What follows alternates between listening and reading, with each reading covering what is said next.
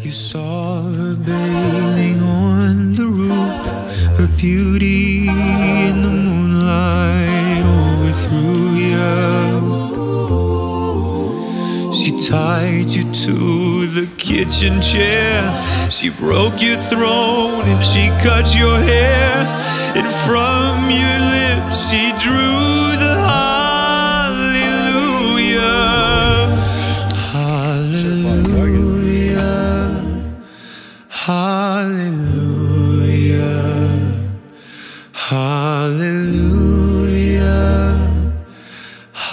Hallelujah.